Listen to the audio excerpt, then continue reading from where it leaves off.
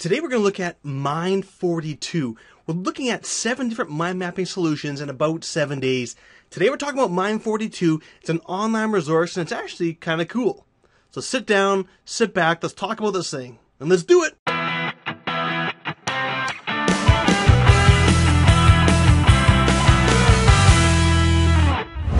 Okay, so let's talk about Mind42. You can get there through mind42.com. So pretty simple.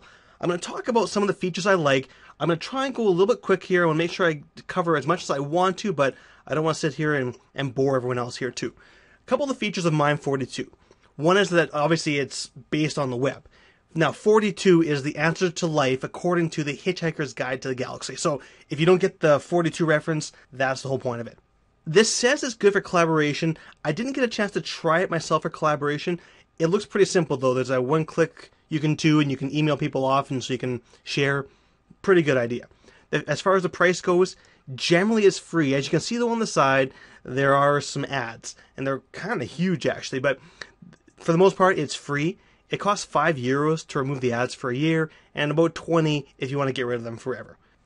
I've got to say, looking at this I like this a lot. There's a ton of things I like. I can't, don't have time to go into absolutely everything, but as far as the sign up, quick sign up, uh, enter my email, my name, and they emailed it back to me. I confirmed it. Good. Really, really simple.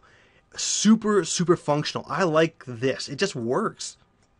If you want a new sibling, you hit S. If you want a new child, you hit C. So I'll give you an example here. If you want another sibling, hit S. They'll throw me one down, a new node down below.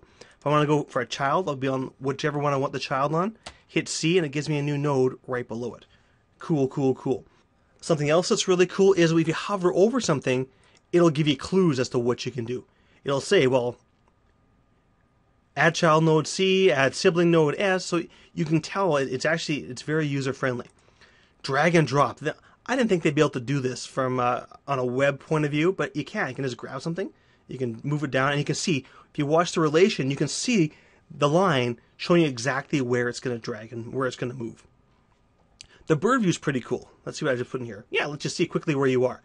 If you watch, I'll throw a little highlighter where we are, but you can, for larger maps, this will obviously be a better thing. You can grab this and you can drag around so you can see on a large scale where you are, and then on the main window, it'll zoom you into exactly where you need to be.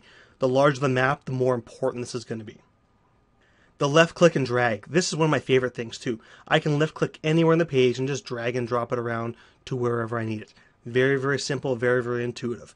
There's a global collapse and expand all nodes. This is nice too. When you're working on something, it's a pain to go back through and manually collapse this node and then this node and, and you're going back and opening and closing all these nodes. If you go up to the top, there's a collapse and expand all nodes. Like boom, collapse everything, or boom, uh, open everything as well, expand everything.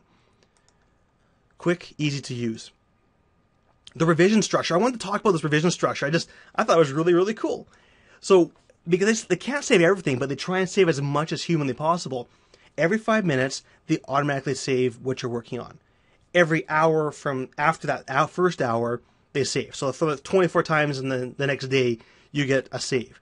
Every day over the last week, it's saved. Every week over the last month, and then every month from then on in. So the cool revision structure. The to do list. I can't believe they've got a to do list on this little free internet app. I'll, I'll show you how it works. Well, I've already got one set up here, so I'm going to go into the, this one up here. We'll do cool revision structure. If I head over, I, there's a to do right here. I'm going to click on the to do, and I can enter something in. I'll enter enter a new to do for this particular one.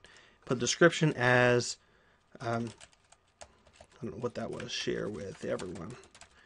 I can say share with everyone. Yeah, we're we're getting there. We're about 25% done. Click on that, and we're good to go. And you can see that it's actually listed right here.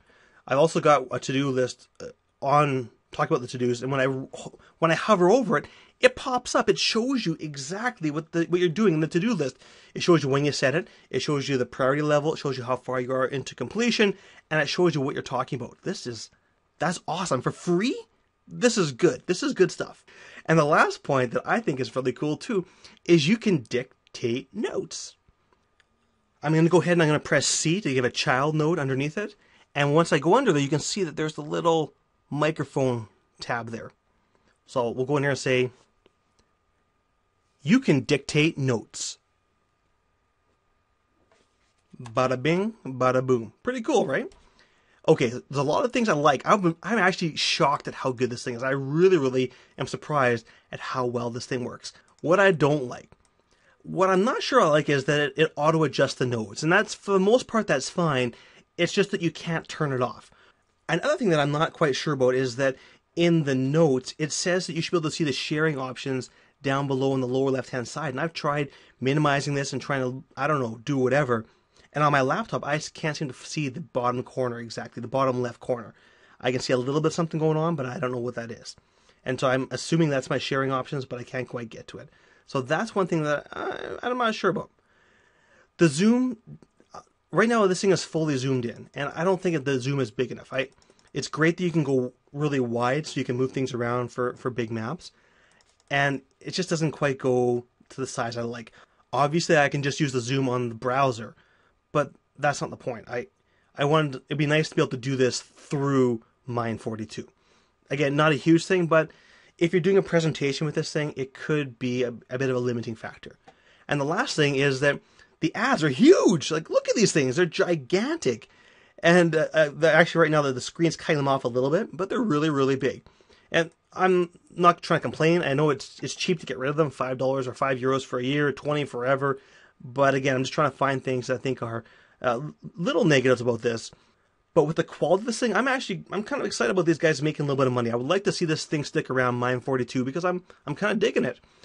I've got to say though, I was really surprised overall with Mind 42. I looked at it and I thought, yeah, it looks pretty good. But when I really sat down and used it, it's intuitive, it's super light, and that's the great thing. It's really, really light, it's easy to learn, it's easy to use. Anyone can pretty much pick it up and figure out what they're doing, and it works fantastic. The to-do list and the dictation, I, that's free. I, that's really, really good. Now, clearly, I want to make sure you understand this too. I'm not saying this thing can go head to head with an Xmind or a MindJet because that's not their point. That's not the purpose of this. It's a quick and dirty cloud based mind mapping piece of software, a piece of brilliance, and it does exactly what I would expect it to do. I like it. Overall, my impression is wow. If you're looking for something cloud based, check out Mind 42. It's, it's pretty cool stuff.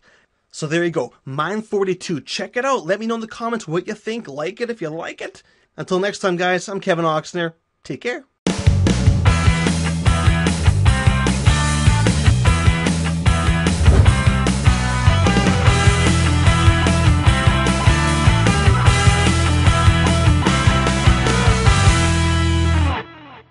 So if the answer to the meaning of life is 42, that must mean that the chance of anything good happening in my lifetime would be 1 divided by 42.